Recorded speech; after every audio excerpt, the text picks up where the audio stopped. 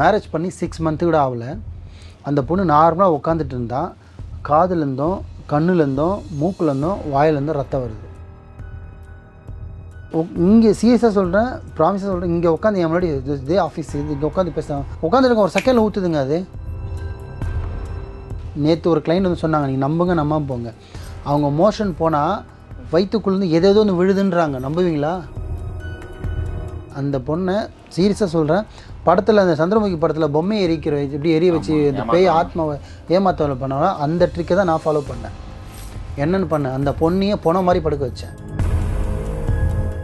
ஆறடி கட்டிலுக்கு தூக்கி நிப்பாட்டுற நம்புவீங்களா? படத்தில் காட்டுற மாதிரி படத்தில் காட்டுற மாதிரி ஆறு கட்டில் தூக்கி நிப்பாடு. சீரியஸாக அந்த கேஸை நான் முடித்தேன் ஒரு பொண்ணுக்கு வயசு இருபது. ஆனால் அந்த பொண்ணோட வயிறு பார்த்தீங்கன்னா சடனாக சிக்ஸ் மந்த்து மாதிரி மேலே வரும் திருப்பி உள்ளே போகும்.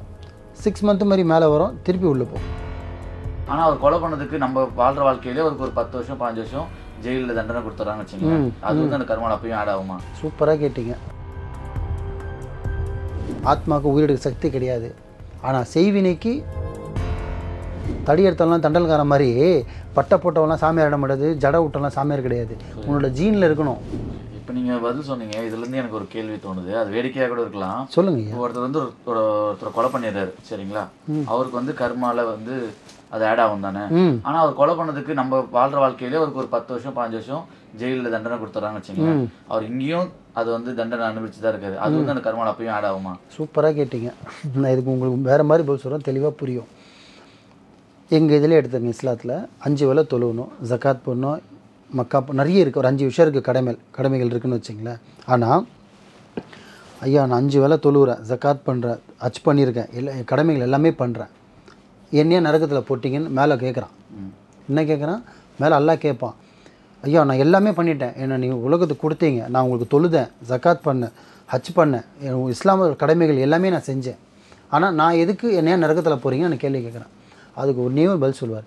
நீ இவ்வளோவும் பண்ண உன்னை ஒருத்தன் தண்ணி கேட்டான் அந்த தண்ணி நீ கொடுத்தியா?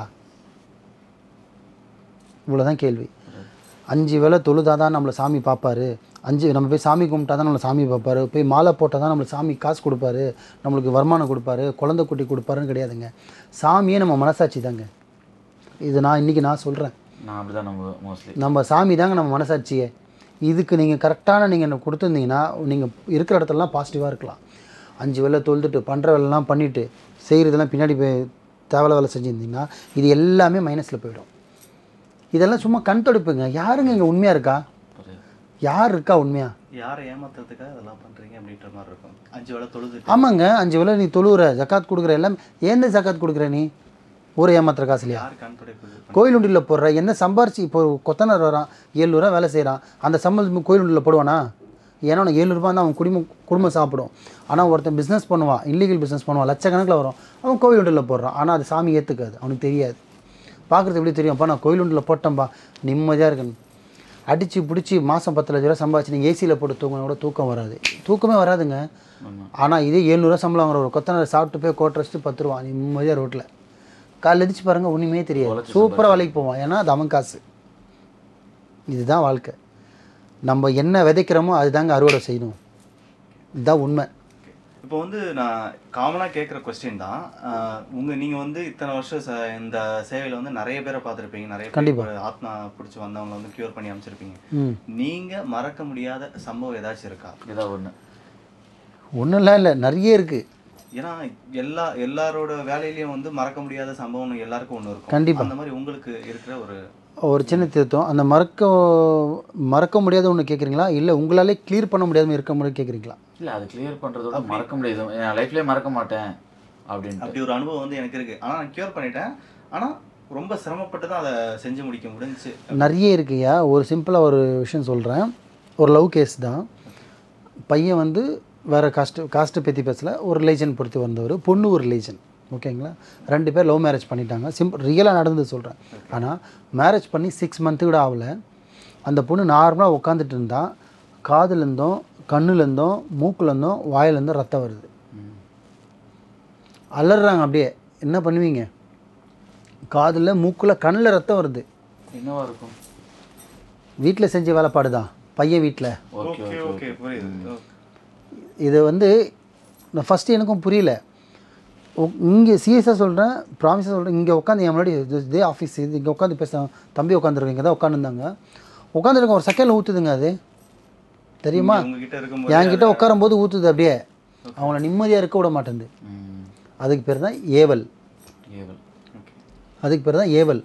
நிறைய பேருக்கு ஏவல்னா என்ன? செய்வினா என்ன? குட்டி சைத்தான்னா என்ன? பில்லி சூனியனா என்னன்னே தெரியாது. நிறைய பேர் வந்து இந்த புள்ளி சூனியன்றது எல்லாம் சில்லி சூனியம் மாதிரி எல்லாமே காமெடியாக ஏற்றுட்டு இருக்காங்க. நரக வாழ்க்கை அதெல்லாம். அனுபவிக்கிறவங்க ஒரு ஒருத்தனை பார்த்தீங்கன்னா நரக வாழ்க்கை. நேற்று ஒரு கிளைண்ட் வந்து சொன்னாங்க நீங்கள் நம்புங்க நம்பாம போங்க. அவங்க மோஷன் போனால் வயிற்றுக்குள்ளேருந்து எதேதோ ஒன்று விழுதுன்றாங்க. நம்புவீங்களா? நான் சொல்லலைங்க அவங்க சொன்னது தான் ஐயா நான் மோஷன் போகிறேன் வெள்ளை வெள்ளையாக இது வருது ஐயா. என்னென்னவோ வருது ஐயான்றாங்க. பேப்பர் மாதிரிலாம் வருது. பேப்பரை சாப்பிட போகிறான் மனுஷன். பேப்பர் வருதுன்றாங்க. மோஷன் போய் அவங்க கீழே குனிஞ்சு பார்த்து சொல்கிறாங்க இத்தனையும் அவங்கள மென்டல் அவங்க பர்ஃபெக்டாக இருக்காங்க. ம். சிம்பிளாக சொல்லி இப்போ சொன்ன பார்த்தீங்களா அந்த கேஸு அதுக்கே பார்த்தீங்கன்னா அந்த பொண்ணுக்கு ஏவல் வச்சுருந்தாங்க. அந்த பொண்ணை நான் க்ளியர் பண்ணுறதுக்கு ஃபோர் அண்ட் ஆஃப் மந்த் ஆயிடுச்சு. நாலரை மாதம் கஷ்டப்பட்டேன். ஒரு அமல் சொல்லுவோம். அமல்னா பரிகாரம் நீங்கள் சொல்லுவீங்க நான் அமல்னு சொல்லுவேன். ஒரு அமல் செஞ்சேன்னா இருபத்தி ஒரு நாள். ஃபஸ்ட்டு ஒரு அமல் செய்கிறேன் ஒரு ஒரு வாரம் கண்ட்ரோல் ஆகுது. திருப்பி வர ஆரம்பிக்குது. ஓகே திருப்பி இருபத்தி ஒரு நாள் இன்னொரு அம்பல் திருப்பி இருபத்தி இதே மாதிரி பண்ணி பண்ணி லாஸ்ட்டில் இந்த பொண்ணுக்கு ஒரு பணத்துக்கு என்ன வேலை செய்யணும்? அதை முழுக்கொண்டு அந்த பொண்ணு இருபத்தி ஒரு நாள் இருபத்தி ஒரு நாள் இருபத்தொரு நாள் பண்ணி சரியாக என் கண்ட்ரோல் வரும். ஒரு 90% பர்சன்ட் கிளியர் ஆகிற மாதிரி இருக்குது திருப்பி ஸ்டார்ட் ஆகுது. திருப்பி ஸ்டார்ட் ஆகுது திருப்பி அங்க பண்ணிக்கிட்டே தான் இருக்காங்க. அங்கே பண்ணிட்டு தான் இருக்காங்க. அதை எப்படி நம்ம ஸ்டார்ட் பண்ணான்னு அந்த பொண்ணை சீரியஸாக சொல்கிறேன் படத்தில் அந்த சந்திரமுகி படத்தில் பொம்மை எரிக்கிற வச்சு இப்படி எரிய வச்சு இந்த பேய் ஆத்மாவை ஏமாத்தவலை பண்ணாலும் அந்த ட்ரிக்கை தான் நான் ஃபாலோ பண்ணேன். என்னென்னு பண்ணேன். அந்த பொண்ணையே பொண மாதிரி படுக்க வச்சேன். இப்படியே சொன்னேன். ஒரு ஒரு அஞ்சு நிமிஷம் ஒரு த்ரீ மினிட்ஸு மூச்சு பிடிக்க வேணாம். ஓரளவுக்கு உன்னோட கண்ட்ரோல் பாடி கண்ட்ரோல் வச்சு நீ படுத்துருமான்ட்டேன். அது அது நான் ஓத ஆரம்பிக்கும் போது அது அது வந்து எப்படி சொல்லுவோம்னா ஜனாசா தொழு மாதிரி நாங்கள் சொல்லுவோம். அந்த மாதிரி இந்த பொண்ணை வச்சு தொழு உட்கார படுக்க வச்சு அந்த பொண்ணை இறக்கி கொடுத்தேன். இறக்கி கொடுத்து கரெக்டாக மூணு நாள் தர்காவில் தங்க வச்சேன். வீட்டை அப்படியே கண்ட்ரோல் பண்ணி டோட்டலாக வீடு என்னோட கண்ட்ரோல் எடுத்தேன். அந்த பொண்ணை தர்காவில் உட்கார வச்சேன். வீட்டை வந்து என்னோட கண்ட்ரோல் கொண்டு வந்துட்டேன் அந்த பையனை வந்து அவங்க வீட்டில் அமுச்சு விட்டேன். மூணுமே அப்படி பிரிச்சுட்டேன். இப்போ அவங்க பிரிஞ்சு தான் வாழ்றாங்களா? இப்போ சூப்பராக வாழ்கிறாங்க இதே இங்கே அம்பத்தூர் ஐடியில் தான் ஒர்க் பண்ணுறாங்க நம்ம டெலிஃபோன் எக்ஸ்சேஞ்ச் இருக்கு இல்லையா? அங்கே தான் ஒர்க் பண்ணுறாங்க பேரே கூட பேர் மட்டும் சொல்ல விரும்பல. இங்கே ஒர்க் பண்ணிட்டு இருக்காங்க. இப்போ அவங்களும் குழந்தையும் பிறந்துருச்சு. அந்த பொண்ணை நான் காப்பாற்றுறதுக்கு நாலரை மாதம் கஷ்டப்பட்டேன். ரொம்ப டஃப்பான ஏன்னா ஏன்னா இப்போ பாருங்க ஐயா எனக்கு கை முறுக்கிக்கிச்சு கால் முறுக்கிக்கிச்சுன்றது ஒரு விதங்க. கண்ணிலே மூக்கில் ரத்தம் வந்தால் நான் எப்படி நிப்பாட்டுறது? அது எப்போ வருது? நான் இங்கே உட்காந்து ஓதிட்டு இருப்பேன். சடனாக ஐயா திடீர்னு வருது ஏன்னுவாங்க. டக்குன்னு வீடியோ கால் வாங்கினா வரும். இந்த மாதிரி ஒரு சூழ்நிலாம் வந்துருச்சு. அந்த கேஸை நான் முடிக்கிறதுக்குள்ளே போதும் போதும் பட்டேன். அந்த பொண்ணை அது சாவுக்கு கொண்டு போகிற மாதிரி ஜனாதா தொழில் மாதிரி கொண்டு போய் அதை நான் மறைய வச்சு அதை உடம்புல வந்து இறக்கி அந்த துணியை அந்த உடம்புல வந்து எடுத்து லேடிஸை உள்ளே விட்டு அந்த பொண்ணை அப்படியே ட்ரெஸ் எல்லாம் எடுத்து ரிமூவ் பண்ணிட்டு அந்த ட்ரெஸ்ஸை போட்டு கொளுத்தி அம் ஏமாத்தவலை பண்ண மாதிரி பண்ணேன். அதுக்கப்புறம் தான் அடங்கிருச்சு. அதுக்கப்புறம் கட்டு போட்டு அந்த பொண்ணு நெருங்க விடலை. இப்போ சூப்பராக இருக்காங்க முடிஞ்சிருச்சு. எவ்வளோ பெரிய தீ சக்தி இருந்தாலும் சரி மேலே இருக்கிற சக்திக்கு முன்னாடி ஒன்றுமே இல்லைங்க. கண்டிப்பா. புரியுதுங்களா? இந்த இந்த பில்லி சூனி ஏவல்லாம் வந்து நூற்றுக்கு பர்சன்ட் இருக்குங்க.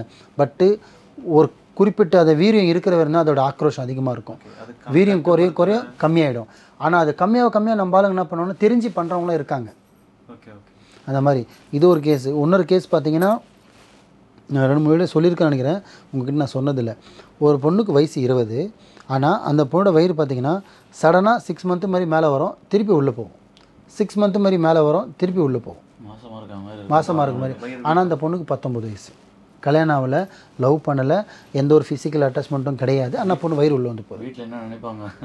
அந்த பொண்ணு வீட்டுக்குள்ளே போகும் எப்படி கட்டி போட்டிருந்தாங்க தெரியுங்களா? படத்தில் கட்டுற மாதிரி கட்டில் ரெண்டு கையை போட்டு காலை கட்டி போட்டு அந்த பொண்ணு வச்சு அந்த அளவுக்கு போட்டு எல்லாத்தையும் உடைக்குது. வீட்டில் எல்லா பாத்திரத்தையும் உடைக்க வச்சிருக்கு. என்கிட்ட அந்த கேஸ் வந்தது. இது ஐயா நான் எங்கெங்கேயோ பார்த்துட்டேன். தர்காவில் ஓதிட்டேன் வேப்பில் அடிச்சிட்டேன் எல்லாமே செஞ்சுட்டேன். எனக்கு உங்கள் ரீசெண்டாக உங்களோட வீடியோ பார்த்தேன். எனக்கு நீங்கள் தான் பண்ணி தரணுன்னாங்க இங்கே தான் ஆடியோ தான் அந்த வீடு. வந்து எனக்கு முடிச்சு கொடுங்க அப்படின்னாங்க. முதல்ல எல்லா டெஸ்ட் எடுத்தீங்களான்னு எல்லா டெஸ்ட் எடுத்தீங்களா? உங்கள் பொண்ணு இப்போ லைவாக நிப்பாட்டி ஒரு வீடியோ அனுப்புங்கன்னு. ஒரு ஃபோட்டோஸ் லைவ் ஃபோட்டோஸ் அமிச்சாங்க ஒரு வீடியோ அமிச்சாங்க. கணக்கு போட்டு பார்த்துலேருந்து பிரச்சனை இருக்குன்னு தெரிஞ்சிச்சு. நீங்கள் டாக்டர் கிட்ட இருந்த மொத்த ரிசல்ட் அனுப்ப சொன்னேன். அவங்க மொத்த ரிசல்ட் எனக்குன்னு சில பர்சனல் இந்த கிளைண்டாக வரவங்க டாக்டர் இருக்காங்க. அவங்க அனுப்பிச்சு இது என்ன இருக்கான்னு இல்லாமல் எல்லாமே பர்ஃபெக்ட் மாலிக் பயணுன்னு அதுக்கப்புறம் தான் நான் இறங்கினேன். அது நான் ஆல்ரெடி கேட்டிருந்தேன். ஒருவேளை வர்றவங்களுக்கு வந்து உண்மையாக மெடிக்கல் ப்ராப்ளம் இருந்துச்சுன்னா அதையும் நீங்கள் கன்ஃபார்ம் பண்ணிப்பீங்க. இல்லையா மெடிக்கல் ப்ராப்ளம் இருந்துச்சுன்னா சில பேர் வந்து இங்கே வரவங்க எல்லாருமே 90% பர்சன்ட் ஆத்மால பாதிக்கப்பட்டவங்க செய்வினால பாதிக்கப்பட்டவங்கன்னு கேட்டால் கிடையாது. அதான். அது உங்களுக்கு வந்து அதை நீங்க செ- நீங்க உறுதிப்படுத்தினதுக்கு அப்புறம் தான் உறுதிப்படுத்தினதுக்கு அப்புறம் தான் நான் இறங்கணும். இல்லை நான் பாட்டுக்கு அவங்க இப்போ வயிறொலியில் இருக்கிறவனுக்கு நான் பாட்டுக்கு ஓதிக்கிட்டு இருந்தா என்ன யூஸ் இருக்குது ஆமா. அவன் முதல்ல டெஸ்ட் எடுத்து பார்த்து இல்லை பர்ஃபெக்டாக இருக்குது அவர் வேறு விஷயத்துலாம் பாதிக்கப்பட்டிருக்கா எனக்கு தெரிஞ்சால் மட்டும்தான் நான் ஃபீல்டுலேயே இறங்கி அந்த பொண்ணை கிளியர் பண்ண முடியும். ஏன்னா இது எல்லாமே பார்த்தீங்கன்னா காசுன்றது பெரிய விஷயம் கிடையாது. இறங்கி வேலைப்பாடு செய்யணும் ஓதணும் எழுதணும். நிறைய வேலைப்பாடு இருக்குது நான் கஷ்டப்படுறது இல்லாமல் அந்த பொண்ணை கஷ்டப்படுறது இல்லாமல் அவங்க வீட்டாளங்களும் நான் கஷ்டப்படுத்தணும். இதை போய் எறிங்க இது புதைங்க இவ்வளோ செய்யுங்க. இது வரணும் இது கொண்டு வரணும். எவ்வளோ வேலை இருக்குது எனக்கு எதுவுமே இல்லைங்க. அது ஏதோ ஒரு ஆத்மாவாலேயோ இல்லை செய்வனியாலேயோ இல்லை தாண்டிடுச்சு இல்லை மெரிச்சிருச்சு இல்லை ஒருத்தவங்க செஞ்சுருக்காங்க இந்த மாதிரி எனக்கு கிளியர் கட்டாக வந்தால் மட்டும்தான் அந்த கேஸ் எடுத்தே நான் பண்ணுவேன். அப்படி வந்து ஏகப்பட்ட கேஸ் முடிச்சு கொடுத்துருக்குங்க. இப்போ ரீசெண்டாக போன வாரத்துக்கு முன்னாடி பெங்களூரில் முடிச்சவங்க ஒரு கேஸை ஓகே பெங்களூர் கேஸை முடித்தேன் ஆறடி கட்டிலுக்கு தூக்கி நிப்பாட்டுறேன். நம்புவீங்களா? படத்தில் காட்டுற மாதிரி படத்தில் காட்டுற மாதிரி ஆறு கட்டில் தூக்கி நிப்பாடு. சீரியஸாக அந்த கேஸை நான் முடித்தேன் ஒரே கையில. ஒரே கட்டில் அந்த அந்த பையன் அந்த ஓனரோட பையன் படுத்துக்கிட்டு இருக்காரு. கட்டில் இப்படி தூக்குதுங்க. தூக்கி அள்ளி தூக்கி ஓடியாராங்க. கரெக்டாக நடந்து ரெண்டாவது நாள் இங்கே இருக்காங்க. இதே நீங்கள் உட்காந்துருக்கா சேரில் தான் உட்காந்துட்டாங்க வந்து. என்னால் முடியலன்னு. ஏன்னா அவர் பண்ண வேலை அந்த மாதிரி. ஒன்றும் பண்ணல. அவர் ஒரு பிஸ்னஸ் பண்ணியிருக்காரு. ஆப்போசிட் பர்சனுக்கு காசு தரணும். கொடுக்கல. ஓகே. செஞ்சு விட்டாங்க வேலையை. அவ்வளோதான் எப்படி அந்த வீட்டில் வாழ்கிற பார்த்தலான்னு குட்டி சேத்தனை ஏவி விட்டாங்க. குட்டி சேத்தனை ஏவி விட்டால் மட்டும்தான் சில்லு வேலைலாம் பண்ணும். இந்த பொருளுங்களை தள்ளி விடுறது பொருளுங்களை உடைக்கிறது மிரட்டுறது. ஆனால் எந்த ஒரு ஆத்மாவுக்கும் உயிர் எடுக்கிற சக்தியே கிடையாதுங்க. முதல்ல இதுவே நம்ம ஆளுங்களுக்கு தெரியாதுங்க. ஆமா. நிறைய பேர் சொல்லுவாங்க. எந்த ஒரு ஆத்மாவுக்கும் உயிர் எடுக்கிற சக்தி கிடையாது. நம்மளை மிரட்டும். அந்த மிரட்டுறதுல தான் நம்ம ஆளுங்க பயந்து உயிரை விட்டுருவாங்க. சடனாக பலவீனமான உடம்பு இருப்பாங்கய்யா ஆமா. அந்த நேரத்தில் சடனாக ஒரு பிளாக்கை பார்க்குறதோ இல்லை டக்குன்னு ஒரு முதுவை தட்டுறதோ அந்த அம்மா அப்படின்னாங்கன்னா மூச்சு நின்றோம் புரிஞ்சிருச்சு? இப்படி தான் நடக்குமே தவிர எந்த ஒரு சைத்தான் அடித்தோ எந்த ஒரு ஆத்மா அடித்தோ உயிர் பிரிஞ்ச சரித்திரமே கிடையாது. அந்த தைரியத்தை தான் நாங்க எக்ஸ்ப்ளோர் பண்ணிட்டு இருக்கோம். எத்- ஆமா. ஒன்றுமே பண்ணாது. ஆத்மாவெல்லாம் வந்து இது நான் இந்த வேலையில் இருக்கேன்னு சொல்ல வரல. பொதுவாகவே நீங்கள் தைரியமாக இருந்தீங்கன்னா எந்த ஆத்மாவும் கிட்ட இருக்காதுங்க ஆத்மாவை நாய் மாதிரி தாங்க ஆத்மா. நான் சொல்கிறேங்க. நீங்கள் நீங்கள் ஓடினா உங்களை துரத்தும். நீங்கள் நின்று பாருங்கள் அது நின்றோம். அதே தான் ஆத்மாவும். என்னடா அவன் நம்ம நிற்கிறோம் நம்ம முன்னாடி அவன் நிற்கிறான் அப்போ அவன்கிட்ட தைரியமான ஆள். ஒன்றுமே பண்ண முடியாது. இது இப்படி பண்ணவங்க தாங்க ராஜாங்காலத்துலேருந்து இப்போவே இருக்காங்க. காட்டுக்குள்ளே போகிறாங்க எப்படி போகிறாங்க இப்போ அஹ், நாங்க ஒரு சில இடத்துக்கு அஹ், அங்க எங்களுக்கு வந்து ஏதோ ஒரு பிரசன்ஸ் இருக்குன்னு தெரியுது. ஏதோ ஒரு விஷயம் இருக்குன்னு தெரியுது. அதை வெளியே கொண்டு வரதுக்காக நாங்க வந்து வேணும்ன்ட்டு அவங்கள கோவப்படுத்துற மாதிரி எதுவும் பேசி அதனால எங்களுக்கு எதுவும் பிரச்சனை வருமா? சம்டைம்ஸ் நம்மள நூறு பர்சன்ட் வரதுக்கு வாய்ப்பு இருக்கு ஐயா. ஓகே வரதுக்கு வாய்ப்பு இருக்குது ஹண்ட்ரட் பர்சன்ட் அது ஆக்ரோஷம் ஆச்சுன்னா உங்களை கஷ்டப்படுத்தும் இல்லை நான் எனக்கு வந்து பர்சனலாக ஆயிடுச்சு. அதனால தான் கன்ஃபார்ம் ஒன்றா ஆகாதியா உடம்பே பார்த்தீங்கன்னா செல் இப்படி ஆயிடுவீங்க. ஃபஸ்ட் ஹாஃபில் இப்படி ஆயிடுவீங்க. உடம்புல இருக்கிற மொத்த ரத்தமும் உரிய ஆரம்பிச்சிடும் ஒன்றுனா ஒன்றுனா ஒன்றா ஏன்னா ஆத்மாக்கு அதுதான் அதோட- பக்குவமே அதுதான். ரத்தம் உரிய ஆரம்பிக்கும். இப்படி ஆயிடுவாங்க. ஒன்றுமே இல்லாத மாதிரி ஆயிடுவாங்க. உங்களோட வீரியமே குறைஞ்சிரும். இந்த மாதிரி நிறைய இருக்குது முடிஞ்ச அளவுக்கு அந்த மாதிரி நீங்கள் என்ன போகும்போது உங்கள் சேஃப்டி மாதிரி என்ன ஒன்று பண்ணி வச்சுங்க எனக்கு வந்து பார்த்தீங்கன்னா யாரோ என்னை அடிச்ச மாதிரி இருந்துச்சு. தள்ளி விடுறதுக்கே அதுக்கு ஆத்மா பொறுத்தவரை சொல்கிற பாருங்க தொட முடியாது ஆனால் உணர முடியும். அதுதான் ஆத்மா. நானாக இருக்கட்டும் இப்போ நீங்கள் பண்ணுறீங்க உங்களுக்கே இது இப்போ எக்ஸ்பீரியன்ஸ் ஆயிடுச்சு இல்லைங்க. இப்போ நீங்கள் ஸ்டார்ட் பண்ணும்போது அதை பார்த்து நீங்கள் பயப்படுற மாதிரி இருக்கும். ஆனால் அதை பார்த்து இப்போ உங்களை பயப்படுது. நீங்கள் தைரியமாக போகிறீங்க ஏன்னா ஒரு விஷயம் திரும்பி திரும்பி திரும்பி நீங்கள் செய்யும்போது அவங்க உங்களுக்கு அதோட கெப்பாசிட்டின்னு நீங்கள் தெரிஞ்சு வச்சுருக்கீங்க. பட் ஆனால் நீங்கள் வந்து கான்ஃபிடெண்ட்டாக என்னால் முடியுன்றதால போகிறீங்க இப்போ இதே இது இது அதே இடத்துக்கு ஒரு புதுசாக ஒரு பர்சன் போக முடியுமா? கண்டிப்பாக முடியாது. அதுதான் விஷயம். இதுதான் ஆத்மா. ஒரு செகண்டில் அடிக்கும். ஆனால் நம்ம ஆளுங்க கேளுங்க சில பேர் சைத்தானன்றதே இல்லை. நிரூபி. இல்லை நாங்களும் பர்சனலாக வந்து எங்கள் சேனலில் பார்க்குறவங்களுக்குலாம் சொல்கிறது வந்து இந்த மாதிரி ரிஸ்க்கை வந்து நீங்கள் எடுத்துடாதீங்க. நாங்கள் பண்ணுறது வந்து பார்த்தீங்கன்னா நாங்களும் ரொம்ப கஷ்டப்பட்டு இந்த விஷயத்தை வந்து பழகி தான் பண்ணிட்டு இருக்கோம். அதே மாதிரி ரிஸ்க்கை நீங்களும் எடுத்துடாதீங்க. ஏன்னா எல்லா நேரமும் ஒரே மாதிரி இருந்துடாது. எங்களுக்கு ஏதோ லக்கு நாங்கள் வந்து இதை தாண்டி போய்கிட்டு இருக்கோம்னு சொல்லலாம். நாளைக்கு வந்து அது நமக்கே வந்து ரிட்டனாக அமையலாம். கண்டிப்பாக சரிங்களா? ஸோ அதனால. ஐயா ஆத்மான்றது நூற்றுக்கு நூறு பர்சன்ட் இருக்கு ஐயா. அது என்ன சொல்கிறது நம்பினா தாங்க எல்லாமே. நம்பினா தான் கல்லே சாமி. இல்லைன்னா அது வெறும் கல் தான். அந்த மாதிரி ஆத்மா இருக்குது பில்லி சூனி ஏவல் எல்லாமே இருக்குது முடிஞ்ச அளவுக்கு நீங்கள் நல்லது மட்டும் செஞ்சு நல்லதே பண்ணிட்டு போனீங்கன்னா எந்த ஆத்மாவும் உங்களை ஒன்றும் பண்ண போகிறதில்ல எந்த செய்வினையும் உங்களை ஒன்றும் பண்ண போகிறதில்ல என் மேலே கடவுள் இருக்கானுட்டு போயிட்டே இருக்கலாம். செய்கிறதெல்லாம் ஃப்ராடு தன்னை பண்ணிட்டு அப்போ எல்லாத்துக்கும் பயந்து தாங்க ஆகணும். நம்ம வா சொல்லுவாங்களே வாழ்க்கை எண்ணம் போல் தான் வாழ்க்கைன்னு. அந்த மாதிரி நம்ம ஒரு ட்ராக் வச்சு நம்ம ட்ராக் படம் போயிட்டே இருந்தோம்னா நாளைக்கு எந்த பிரச்சனையும் நம்மளுக்கு வராது. உதாரணத்துக்கு நம்ம நீங்கள் சொல்கிறது பார்த்தா எப்படின்னா நம்ம எல்லா பேப்பர் எல்லாமே ஹெல்மெட் ஹெல்மெட் எல்லாமே விடுந்தா போலீஸ் நிறுத்தினா நம்ம என்னங்க பண்ண போகிறீங்க எதுவுமே இல்லைன்னா தான் பயந்து பயந்து கட்டு விட்டு அப்படி பூந்து பயப்படணும். இல்லைன்னா மனசு சுத்தமாக இருக்கு. நான் எல்லாமே பண்ணலையா? நான் யாரையும் ஏமாத்தலை. எவன் சொத்தையும் அனுபவிக்கல? எவனையும் செய்வனை வைக்கல? நான் என்கிட்ட வந்தீங்க. ஒரு கேள்வி கேட்டீங்க கொண்டாந்து மாரி. உங்ககிட்ட செய்வனை வைக்க வைக்க சொல்லி வந்தாங்க நீங்கள் வைப்பீங்களா ஏன்னு கேட்டீங்க. என்னோட எல்லா வீடியோவில் எடுத்து பாருங்கள் என்னோட நீங்கள் ரிசர்ச் கூட நீங்கள் பண்ணி பாருங்க என்ன. கெடுதல் கெட்டது பண்ணவே மாட்டேன். நீங்கள் எவ்வளோ கொடுத்தாலும் சரி. அது பண்ணுற மாதிரி தான் நான் இப்போ நான் ஒரு காரில் போயிட்டுருக்கேன் நான் நாலு கார் வாங்கிட்டு இருப்பேன். சீரியஸாகவே ஏன்னா இங்கே ஐயா என்னை காப்பாற்றுங்கன்னு சொல்கிற வரதோட என்ன ஒருத்தன் ஏமாற்றிட்டான் அவனை என்ன பண்ணுன்னு சொல்கிறவங்க தான் இங்கே அதிகமாக வராங்க. நான் சொல்கிற ஒரே வார்த்தை என்னன்னா நீ தூக்கி கல் அடிச்சுன்னா கல் மேலே விழும்.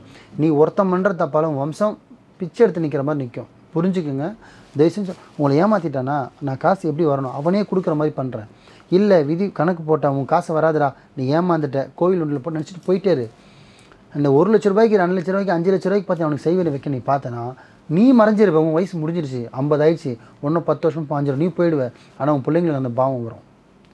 அப்போ நீ காசை ஒன்றும் சேர்க்கல ஒன்றும் நீ விரையம் தான் பண்ணுற அவங்க தலையெழுத்தே முடிஞ்சிடும் அதாவது முடிஞ்ச அளவுக்கு செய்வனை பக்கம் ஐயா மாந்திரிகத்தை வந்து முதல்ல ஒன்று சொல்கிறேன் பாருங்க ஐயா. உங்கள் சேனலில் இதெல்லாம் சொன்னதில்ல. மாந்திரிகன்றது நூற்றுக்கு நூறு பர்சன்ட் எந்த ரிலேஷனாக இருந்தாலும் பயன்படுத்தலாம் ஐயா. ஆனால் நல்லதுக்கு மட்டும் பயன்படுத்தணும். நம்ம முன்னேறணுமா? ஐயா எனக்கு பிஸ்னஸ் இல்லையா? பண்ணலாம். ஐயா நல்ல வேலை கிடைக்கணுமா? பண்ணலாம். நான் சினிமாவில் சாதிக்கணுமா? பண்ணலாம். ஐயா ஒரு பொண்ணு லவ் பண்ணுறியா பண்ணலாம். தப்பு இல்லை. பக்கத்தில் இருக்க பொண்ணாடி தான் நீ ஷேர் பண்ணக்கூடாது. உனக்கு ஒரு பொண்ணு இருக்கா? அந்த பொண்ணு லவ் பண்ணுறியா உனக்கு ஒன் சைடாக இருக்கியா? பண்ணலாம். நான் ஃபாரினுக்கு போகணும். மாந்திரிகத்தை பயன்படுத்தலாம். நான் நிறைய காசு சம்பாதிக்கணும். எனக்கு கையில் காசு நிற்கணும் அந்த மாதிரி அதுக்கும் பண்ணலாம். ஒரு தனிப்பட்ட மனிதனுக்கு மாந்திரிகத்தை பயன்படுத்துறது தப்பு கிடையாது. ஹராம் இல்லை. அதே மாந்திரிகத்தை ஒருத்தனை அழிக்கணும் செய்வினை வைக்கணும் பிழிச்சு வைக்கணும் அந்த இடத்த காலி பண்ணணும் அவன் காலி பண்ண அந்த ப்ராப்பர்ட்டி நான் வாங்கணும் எங்கள் அண்ணனை சாப்பிடுச்சு அந்த ப்ராப்பர்ட்டி என் பேரில் நான் எழுதணும் இதெல்லாம் செஞ்சால் இதெல்லாம் பிளாக் மேஜிக்கில் சேரும். மேஜிக்கில் ரெண்டு இருக்குது ஒன்று ஒயிட் இருக்குது பிளாக் இருக்குது நான் நல்ல ஒயிட் மட்டும் தான் பண்ணுவேன் பிளாக் பண்ணவே மாட்டேன். ஏன்னா இது பண்ணிட்டோம் அப்படின்னா நிம்மதியாக போய் நான் வீட்டில் தூங்கலாம். ஏங்க நான் ஒரு நாளைக்கு ஐம்பது கஸ்டமர் பார்க்குறேன் அப்புறம் ஒரு மாதத்துக்கு எவ்வளோ பார்த்துருப்பேன் ஒரு வருஷத்துக்கு எவ்வளோ பார்த்துருப்பேன். இன்றைக்கி வரையும் கை கால் சுகதர சூப்பராக இருக்கேங்க. எப்படி இருக்கேன்? ஒரு வீடுக்கு ரெண்டு வீடு வச்சுருக்கேன். நான் நல்லா இருக்கேன். தைரியமாக இருக்கேன். நான் எந்த கெடுதலும் பண்ணலையே. அவ்வளோதான் இதே நான் கெடுதல் பண்ணியிருந்தேன்னா பயந்து பயந்து நான் வண்டி ஓட்டணுங்க எந்த சிக்னல் எவன் தட்டுவான் எப்போ நான் கீழே விழுவேன்? சொல்ல முடியாது ஐயா. நல்ல நேரம் நே டைம்னு ஒன்று சரியில்லைன்னா நம்மளை சாட்சி விட்டுரும். எனக்கு சில பொருட்கள் மேலலாம் வந்துட்டு சந்தேகம் இருக்குது வந்து பார்த்தீங்கன்னா இப்போ உதாரணத்துக்கு பார்த்தீங்கன்னா மயில் இறகு இருக்கு. அது வந்து பார்த்தீங்கன்னா நம்ம ஹிந்துலையும் யூஸ் பண்ணுவாங்க. அது வந்து முரு முருகனோட வாகனம் கூட சொல்லுவாங்க. அது வந்து நம்ம யூஸ் பண்ணுறோம் அந்த மயில் இறகு எதுக்கு யூஸ் பண்ணுறாங்க அதுக்கான ஸ்டோரி ஹிஸ்ட்ரி கரெக்டாக கேட்டிங்க. மயில் ரெக்கைன்றது பார்த்தீங்கன்னா நிறைய பேர் கேட்டிருக்காங்க. ஏன் கோயில் ரெக்கை என்ன சொல்றது கோயில் ரெக்கை கூட வச்ச மேலே எதுக்கு? எங்கள் இஸ்லாத்துலேயே பார்த்தீங்கன்னா ஒரு சுத்தமான பறவை அது. எப்படி? ரொம்ப சுத்தமான பறவை. ஆனால் ஓப்பனாக ஒன்றும் சொல்லப்போனால் இதுவே நாங்கள் பயன்படுத்தக்கூடாது இதே ஒரு நிறைய பேருக்கு தெரியாது. ஏன்னா அது இறந்து போனது. இறந்து போன ஒரு சடலத்தை எடுத்த ரெக்கை தான் அது. அதை வந்து நான் யூஸ் பண்ணக்கூடாது. ஆனால் இப்போ நாங்கள் ஏன் அதை யூஸ் பண்ணுறோம் அப்படின்னா ஒரு லேடிஸ் வராங்க. அவங்க சுத்தமாக இருப்பாங்களா? தீட்டில் இருப்பாங்களா? தெரியாது. இப்போ நான் சுத்தமாக இருக்கேன். நான் தொழுவணும் இப்போ நான் தலைமையில் கை வச்சு நான் ஓத முடியுமா? எத்தனை பேர் தலைமையில் கை வைக்கிறது? அப்போ நம்ம உடம்பு என்ன வருது அதுக்காக தான் அதை பயன்படுத்தின ஒரு பொருள். இதுதான் உண்மை. ஏன்னா எங்கள் இஸ்லாத்தில் பார்த்தீங்கன்னா இப்போ தர்காவில் போனீங்கன்னு வச்சுங்களேன் அஹ் ஜன சன சமாதின்னு சொல்லுவாங்க. சமாதி மேலே அடிச்சடிச்சு எடுத்து வச்சுட்டு அடிப்பாங்க. ஏன்னா வர பெண்களை தொடக்கூடாது.